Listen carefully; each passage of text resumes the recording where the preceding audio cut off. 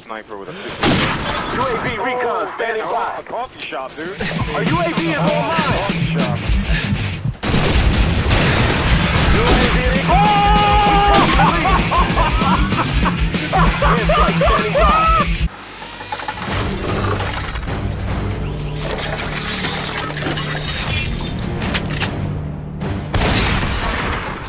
Team deathmatch.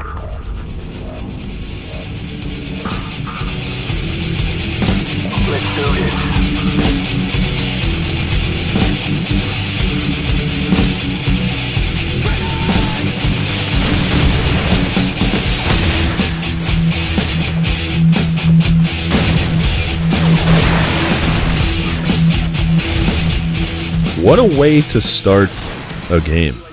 We get a double nade kill, then we get a double RPG kill, then a double martyrdom kill, which I did not know I had on. The chat let me hear it for that one. then I fire and miss my RPG, swing around to the other side, and yeah, you guessed it, another double kill. I haven't even fired my shotty yet. Oh, there, there we go. All right, I finally, I finally shot my weapon. now that I'm like 10 kills into all this. And yeah, this is some COD 4. This was from my classic live stream. I believe it was probably two weeks ago in my live stream uh, playing with viewers. And even though COD 4 really isn't a classic, I think it's a classic. I mean, if you guys think about it, since COD 4, we've had World at War, we've had Modern Warfare 2, we've had Black Ops 1, Modern Warfare 3, Black Ops 2, we had Ghosts, and now we're having Advanced Warfare. That's seven titles since COD 4. COD 4 came out in 2007. That was seven years ago. So, in my eyes, this is good enough to be covered in my classic series. If you guys didn't know, yeah, it's Thursday, and that means I do classic videos on Thursdays. Some people are like, You do? It's like, Yeah, man, I'm always uploading classic videos on Thursdays. And today is COD 4. And my chat challenged me to use this shotgun, the W1200. This was a fun shotgun to use. It sounded really fun, but holy crap, this thing had about three and a half feet of range. I was reminded of that very quickly. very quickly. But normally in these these classic videos, I talk about what I enjoyed about the game, the memories that I had when I played this game. And even though I wasn't a kid when I played this game, this was still seven years ago. I wasn't married. I was in college.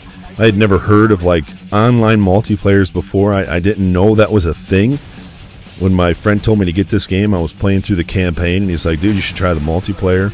I was like, "Multiplayer? What are you talking about?"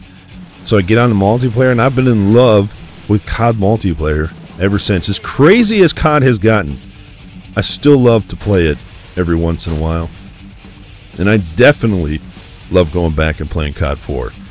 The simplicity. I mean, on the heels of Advanced Warfare come out, you guys saw the trailers. You saw how crazy this game looks. I have no idea if it's going to be good or not. But I just remember how simple COD 4 was. And we all say, "Oh, you need content in order to, you know, play the game longer." You- These Titanfall died because it didn't have enough content. These games need more things crammed in them. But look at COD 4. It was so simple, and we played it for days.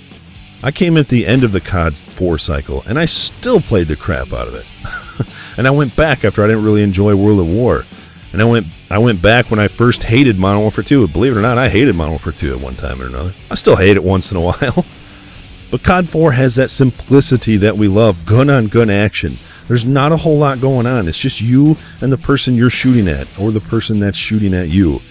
And generally, the better person is going to win. Of course, they had Martyrdom. Of course, they had Last Stand. Of course, they had Frag Times 3. But remember when we didn't think that, that was that big of a deal? Now we've got target finders, things that let you see people through walls. We've got VSATs, which, I mean, I love, but it's still kind of a pain in the ass. We've got tracker sights and automatic smart grenades and all this stuff. I miss the simpler times, so let me know where you stand with COD 4. Was it one of your first games? Do you remember it as a classic? I'll see you next Thursday as we cover more classics. Leave some suggestions, and as always, thanks for watching. Later.